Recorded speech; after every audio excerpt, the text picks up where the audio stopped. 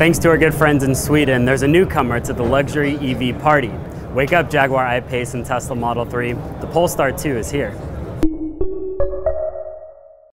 If you can remember, once upon a time Polestar was Volvo's Go Fast brand and their factory racing team. But now, Polestar is Volvo's in-house electrification specialist.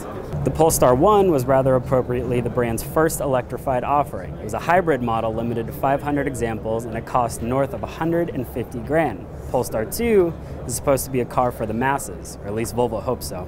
Polestar notes that the 2 is one of the first cars to market with a standard infotainment system based entirely on Android Auto.